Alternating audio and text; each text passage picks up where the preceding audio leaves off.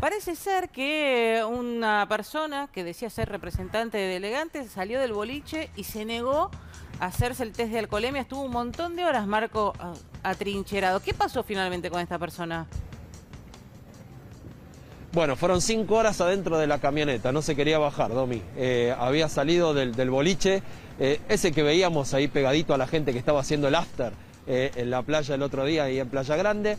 Eh, salió de ahí, Elegante había, había cantado, eh, cuatro y media de la mañana, a los metros del boliche, está todas las noches hay un control de, alcoholemia por parte del personal de tránsito. No se quiso hacer el, test de alcoholemia, no quería mostrar la documentación, dijo que era el representante de Elegante, ¿para qué? Para zafar, para tratar de, irse con, su propia camioneta. Bueno, no pudo, finalmente le, sacaron la camioneta, le sacaron el registro, tiene que pagar 100 mil pesos de multa y ahí quedó la, historia eh, de, de un hombre que quiso chapear para zafar de un control.